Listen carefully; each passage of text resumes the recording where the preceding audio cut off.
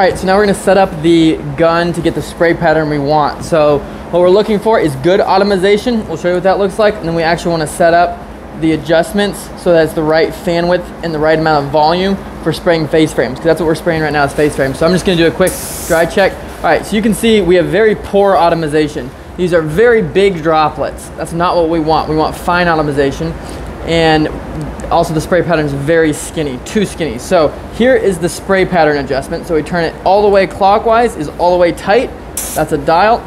And all the way counterclockwise is all the way wide. We're gonna want it somewhere in the middle, somewhere like so, because we're gonna start with the edges. Now we need better atomization. So we can either thin the product, which I don't wanna do. That's not my first uh, thing I wanna do. So we can add air or slow the volume of product down so there's more air to product ratio.